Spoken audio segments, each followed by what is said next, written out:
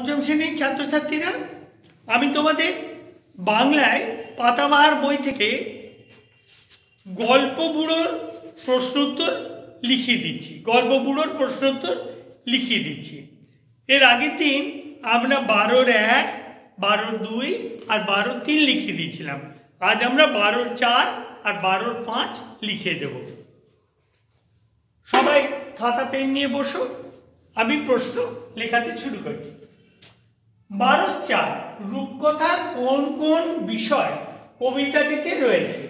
উত্তর, রূপকথার দত্তি, দানব, পক্ষীরাজ ঘোড়া জকিরাজ রাজপুত সারা সার বাঁধা কড়ির পাহাড়, চোখ ধাঁধানো হিরে মানিকের গল্প, সোনার কাঠি, তেপান্তরের মাঠ, হট্টমেলার হাট, ময়নামতি এবং কেশবতী নন্দিনীর গল্প কবিতাটিতে রয়েছে। আরেকবার পড়ে দিচ্ছি উত্তরটা।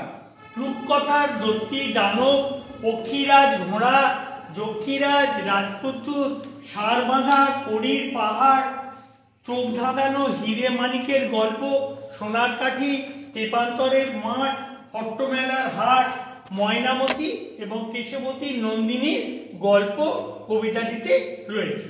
এরপর হচ্ছে বারো, পাঁচের প্রশ্ন। গল্পগুলো কাদের তার গল্প শোনাবে না?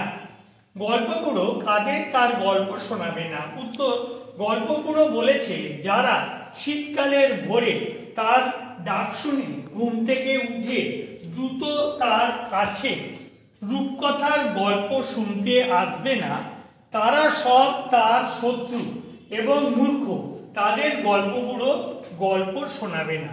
উত্তরটা আরেকবার বলছি। গল্পগুলো বলেছে যারা শীতকালের ভোরে তার ডাক শুনে ঘুম থেকে উঠে দ্রুত তার কাছে রূপকথার গল্প শুনতে আসবে না। তারা সব তার শত্রু এবং মূর্খ। তাদের গল্পগুলো গল্প শোনাবে না। আজকে এই পর্যন্ত।